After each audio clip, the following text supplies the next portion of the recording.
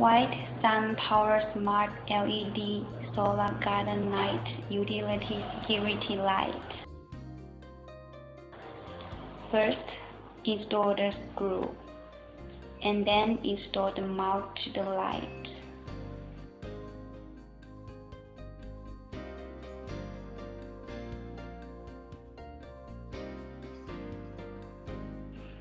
There is a on and off switch on the back. Turn it on before you install the LED light. Install the solar light at where you want.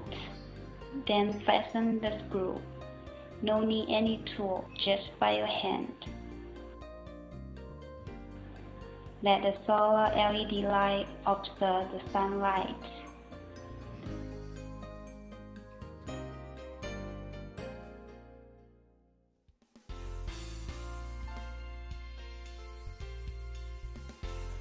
Or another LED light indoor.